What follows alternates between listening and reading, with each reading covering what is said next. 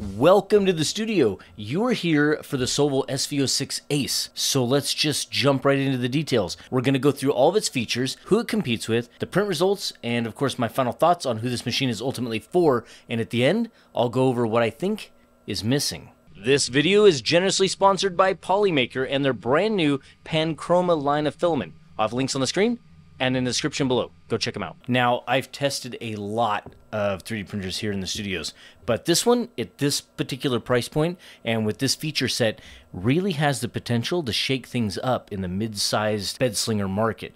Now, for those of you considering a Prusa Mark IV or a Bambu Lab A1, listen up. The SV06 Ace not only competes, but it does it at a price point and an ease of assembly that makes it one of the most approachable new machines on the market. Now, let's get into the setup, which I know is a major factor for a lot of people, especially if you're brand new to 3D printing or you just want to get up and running fast. The SV06 Ace only took about 15 minutes to assembly and everything just snapped right into place. I was impressed with how modular the build was.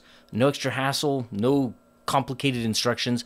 For beginners, it's an easy, guided setup that gets you printing fast and if you're an experienced user, um, I still think you'll appreciate that. Um, it's a pretty straightforward setup and it makes life easier when a printer just comes this way. Now, when you first turn it on, it has a 4.3 inch touchscreen that greets you with this really nice startup wizard that handles auto bed leveling and input shaping calibration right from the first boot. Now, this feature alone is worth mentioning only because it takes care of those adjustments that can be a pain on other printers. And the interface itself, um, beautiful, like simple, large, responsive. Um, and I think I like how Sovol has prioritized the user experience here, making it intuitive, even if this is your very first 3D printer. Now let's go ahead and talk about speed because I think this is where all 3D printers are going. The Sovol SV06 Ace has an advertised speed of about 600 millimeters per second with acceleration of up to 20,000 millimeters per second squared, which is advertised as about 12 times faster than the original SV06 model. That means that you're looking at a 13 minute benchy. That's right, just under 13 minutes, which is kind of crazy. We're looking at machines lately that are regularly producing benchies under 15 minutes, and they don't look bad either. Now, I know high speed can sometimes mean more noise, but I think the Ace runs relatively quietly thanks to one of the smoothest motion systems that I've ever seen in action. Um, it's rare to see such smooth, nearly silent movement, especially at these speeds. So this is a huge win if you plan to have it running nearby. You can easily print and work in the same space as this. In fact, it's running right now and you can kind of hear the cooling fans for the enclosure.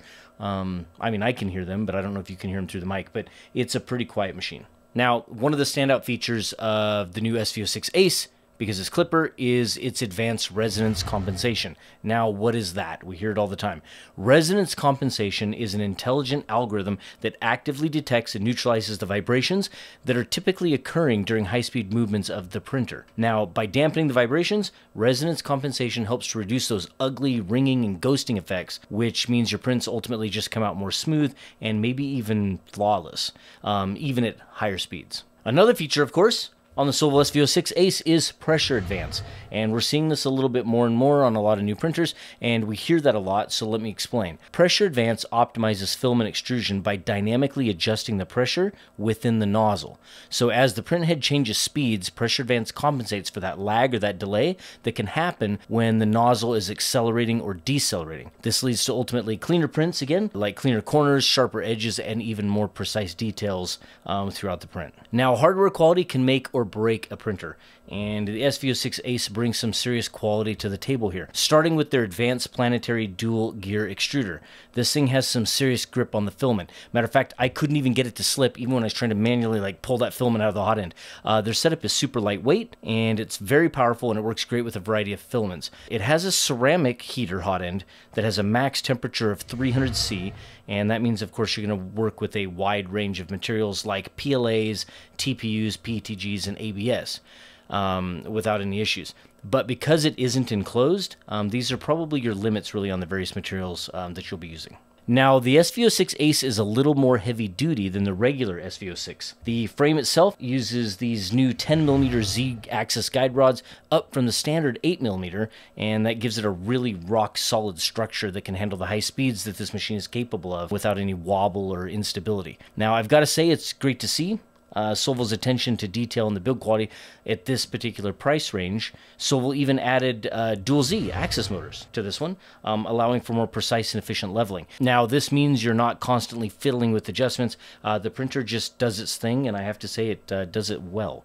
It's, it's a great setup for beginners. The metal bearings and tracks in the XY dual axis wheel structure are also a standout feature, improving wear resistance and significantly extending the machine's lifespan. For a budget friendly option, this level of durability really adds to the value, I think, for the SV06 Ace. On to user experience, which I think Sovol has clearly put a lot of thought into. This 4.3 inch touchscreen is large, um, it's pretty intuitive, and uh, I think it's really well designed. I'd like actually the home screen and everything that it shows you there. Everything uh, is right in front of you, and navigating through the options is a breeze. It has Wi Fi connectivity, like you'd expect, um, which kind of lets you start and stop the prints remotely. Um, I think it's a feature that almost is a must have these days. But if you prefer keeping things offline, there's also a USB option so you can uh, run your prints over with SneakerNet. Slicing was done in Orca Slicer, which is kind of nice. Sovol provided some profiles for that. So it's a simple to use interface. Everyone should be familiar with it. Pair this with the fact that the printer is Klipper powered. Um, that means you get access to the remote web management tools and uh, that little sleek interface there. Now, Sovol includes a camera kind of hidden right up under here, and it lets you monitor your prints in real time and even create some uh, fun time lapses as well. So whether you're in the next room or across the country, um, I don't think it matters. You can check on your prints and even share your time lapse results, uh, um, I guess, on social media or with your friends or family. The filament runout sensor up here at the top is nice, but I think it's kind of expected with just about any new 3D printer on the market today. So, uh, but anyway, in any event, it has one. Another crucial feature is the dual high flow fan cooling system on the tool head. This setup not only keeps things cool, but also pretty quiet. Um, balanced, even airflow right around the nozzle helps maintain print quality, preventing warping or cooling issues that often come up with higher speed printing.